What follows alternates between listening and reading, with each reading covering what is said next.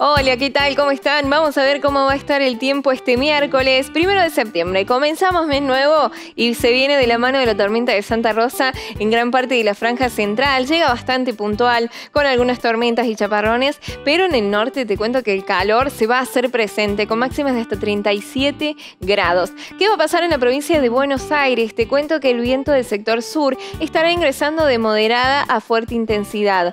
Poco cambian las temperaturas, pero en gran parte de costa atlántica y sudeste de Buenos Aires se va a notar el descenso de las temperaturas y el ambiente fresquito se vuelve a asomar con máximas de 15 grados. Inestabilidad, tormentas y chaparrones, como decíamos recién, la tormenta de Santa Rosa que está llegando puntual también a la provincia. En la capital federal esperamos mínima de 17 y máxima de hasta 21. Mar del Plata, Villa Gesell y alrededores, y como contábamos recién, esperamos una mínima de 11 y una máxima de tan solo 15 grados. Ambiente fresquito y también probabilidad de lluvias para este día miércoles. Sudoeste y oeste de Buenos Aires nos espera con mínimas entre los 6 y 11 grados y máxima de hasta 15 grados. En Junín y alrededores el termómetro podría marcar los 20 grados por la tarde. Inestable entonces para este día miércoles. Igualmente, si quieres más detalles, entra a infoclima.com y seguinos por nuestras redes sociales en